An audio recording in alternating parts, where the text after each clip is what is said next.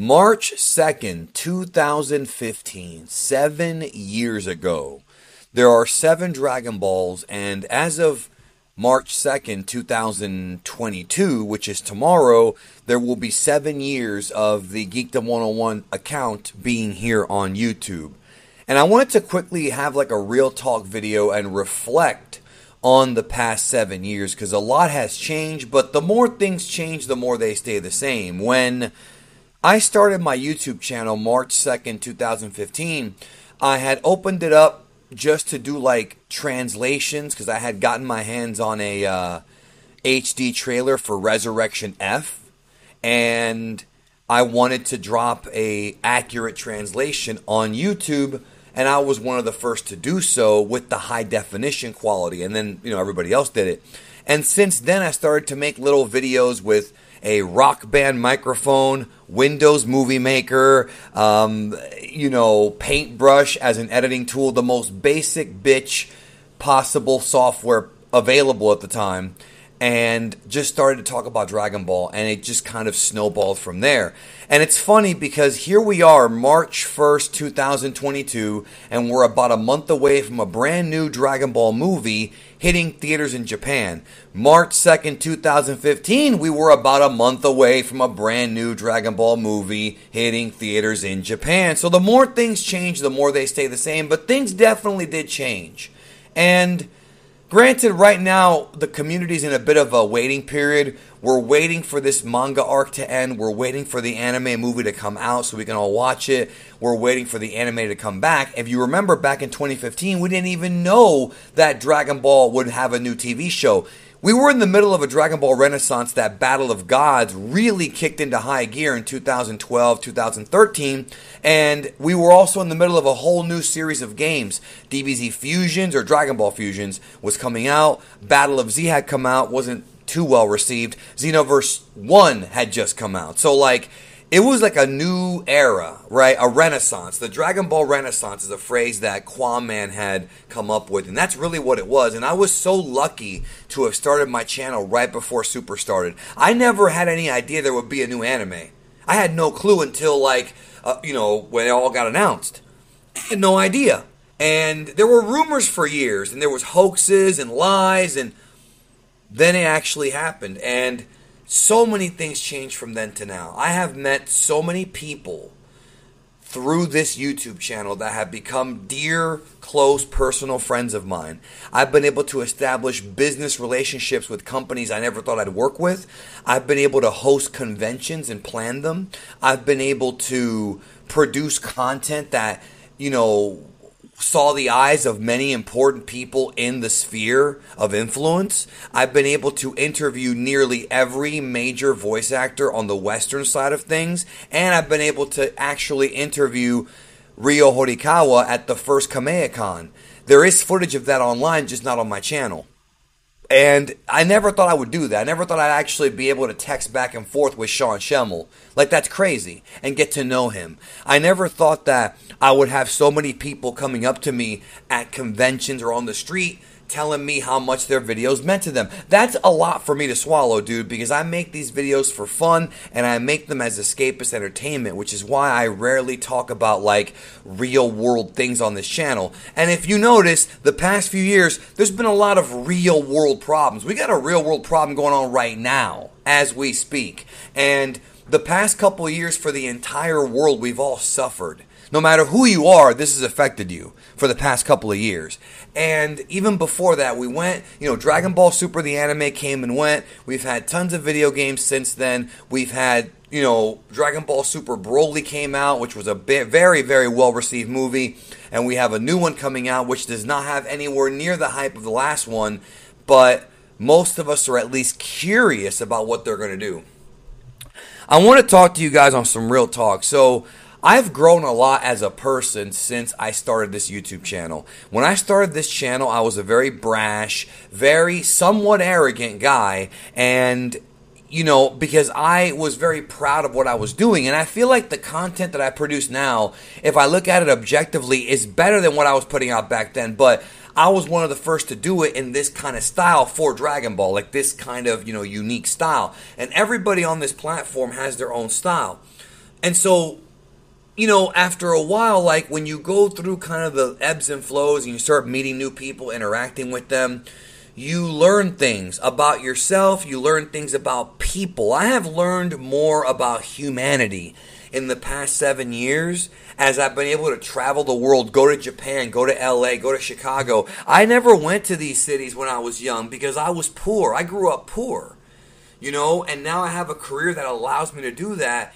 and it was a it's a very big like awakening. It was i'll call it an awakening. And i've come to learn that things have changed. Things have changed. There's been a character arc not just in my life but in the entire community of that covers dragon ball that's into dragon ball. One of the biggest communities for a single franchise out there. You know, it really is. It might not be as big as like Marvel, Star Wars, or even Harry Potter, but it's big. It's got a lot of people in it from all over the world. You could even argue it's bigger than Harry Potter because of how worldwide big it is. But I'm not going to crunch the numbers up right now because Harry Potter's huge, Dragon Ball's huge. I'm just saying it's very popular. And everyone has an opinion. Everyone has an opinion. Some like this, some like that. And I used to, man, I used to debate with people. Y'all know, I used to debate with people on various different platforms and spend hours doing it. And I just kind of stopped doing that because once I kind of realized that what I was here to do was produce videos, not to fight with people, that's what became the focus. And ever since I started doing this, I have been put through the ringer, y'all. There have been things said about me all over the internet for the past seven years that are so. I've had every single possible slur or insult said about me and lie said about me for the past seven years. And for a long time, I took it very personal. And for a long time, uh, it, it, did affect my mental health because when someone says something about you that's not true, and people do it on the internet to everyone, even you guys in the comments, I'm sure you've dealt with it. When someone says something about me that's not true, it used to bring my piss to a boil, bro, because it's so unfair. Like, the internet is so quick to, like, having a formulate an opinion on someone they don't even know based on very small data and it's very immature. And that's just how people are because we've kind of become accustomed to getting everything so instant and not having you know that instant gratification not having like to really understand things and take time to learn things. And i've grown so much because i was like this at one time and for me it's been the reverse I've learned to kind of take a step back and view things objectively. And I want to apologize to my audience for one thing. I want to apologize for not at times focusing on, you know, making each and every one of you happy because I was too busy focused on the negativity. When you read the comment section and you see like literally thousands of positive comments, but it's the one negative comment, the one lie, the one false truth that pisses you off, like it's a common thing that people deal with, right? But I used to focus on it. I used to harp on it. I used to become very hyper focused on the negative to the point where I actually made friends or tried to make friends with people who were toxic and people who were basically trying to bring me down. I've made that mistake in the past seven years when what I should have done is not give them any attention because the way things work online is when someone has an opinion about you that's made up, it's made up, and not everyone's going to like you. Sometimes you can change their mind, but is it do you really want to waste time changing their mind or do you really want to focus on your people? And I've, you know, for the past 7 years, 90% of my focus has been on my people, but that 10% still pisses me off. Like I'm mad at myself over that. That I wasted so much time trying to t- convert haters into fans when I should have been making my fans happy. And I hate using the word fans because I don't like, I'm nobody, dude. I'm just a YouTuber. I'm just gonna say followers or subscribers. I hate the word fan. I don't like it. I know some of y'all don't care, some of y'all do. I just don't like that word because, I, believe it or not, contrary to what these people say, I don't have a big ego. I don't like being considered somebody special. I really don't. I'm just a guy who makes videos. I take pride in my work and I take pride in entertaining people and educating them and all that stuff and helping them learn to love Dragon Ball more. But if someone doesn't like me, it used to really bother me. I used to want everyone to like me, and it's just that's just not how it is, man. That's the biggest lesson I've learned about myself is that there was something lacking in my heart for many years. There was a void that needed to be filled for many years based on things that happened when I was a child, childhood traumas, and I've learned that Fuck the fucking people who don't care about you or formulate opinions about you or make up lies about you. Fuck, don't even give them attention. Let them suffocate because the minute you give them attention, you're giving them a piece of you. You are giving them the eyeball that they want. They want attention. They crave it because they're not getting any in their own lives. And when you give them that attention, they want more and more and more. And once you stop giving it to them, that's when they show their true colors. But that's also when they suffocate. So I'm not going to be doing that ever again, man. I'm not doing that ever again. You know, from this day forward, a hundred, not 98.5, not 99, a hundred percent, not 90 even, a hundred percent of what I do here on Geekdom 101 is for my audience. If you want a video and you know, I can produce that video for you, I'll produce it. If you want me to make 10 videos a week on this movie, I will do my very best to do that. Because ultimately it's the people that support you and that have stuck around with or without Dragon Ball Super that mean the most to me. And I was very aware that when Dragon Ball Super Broly ended and we weren't going to get a, a, new Dragon Ball series, not right away, but sometime around late 2019, like I knew that my numbers on this channel weren't going to be able to stay high because interest in Dragon Ball has gone down. It just makes sense. It's just like how NBA when there's no games, the interest goes down. When the draft is over, you got those few months. Same thing with NFL, MLB. You know, this YouTube stuff covering Dragon Ball is like a sport. And I've been blessed enough to have the monthly manga, but I know that right now interest in Dragon Ball is not what it was in 2017 and I totally understand that and as a businessman you have to make adjustments and I'm still blessed to be able to say that I'm sitting here making these videos and that they're still making me a very very good living and thanks to this Dragon Ball channel, thanks to my love of this franchise and to each and every one of you, I've been able to pay my medical bills. I've had a lot of medical problems that have come up, you know, as I get older. I've been able to buy a home, which which really helped my PTSD from being homeless. I've been able to, you know, clear out my debt. These are important things. These are real things. Like, who gives a shit what some douchebag on the internet with no follower says about you when you're buying a fucking house in the real world? That's real fucking shit. That's shit that each and every one of you should want to do because it's yours. You know, at least that's what I think most people want is their own house. Like, that's cool. That like that should be celebrated. You know, like who cares? And so. It's important though that I you know, I've always tried to give back to my audience, and I'll continue to do so. In fact, I'm, I might be doing a meet and greet in April. I'll let you know about that if I get. Con- I don't know yet, but I might do one. Okay, uh, that's all being worked out. But uh, I like to give back as much as I can. But even if I take away, I feel so guilty. I took away 10% of my time to address trash when I should have been addressing the people who have stuck with me. So this video's for you. I thank you for sticking with me.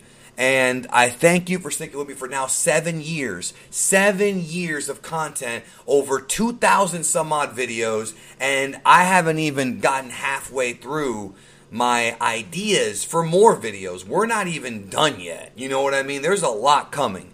And it's just funny because you know one of the things that used to really burn my it used to piss me off is when people said that I'm out of ideas when I have a literal notebook filled with video ideas that I haven't touched and I've had it for years and we're talking about hundreds because I brainstorm ideas and I write them all down it's just comedy, bro. People will say whatever to get under your skin.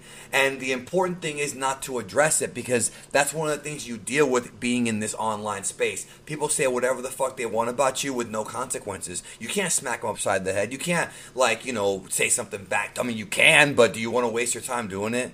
Especially when you have a platform. So I've just learned so much, dude. I've learned a lot about myself. I've learned a lot about how to treat people. I've learned a lot, about the mistakes I've made in the past with other people. Maybe letting my temper get to be, Maybe being a dick sometimes. You know, I've never hid anything about. I've never hid my flaws. I've always admitted that sometimes I can be a dick. I can be a smartass. I have never. I've never hidden my flaws ever.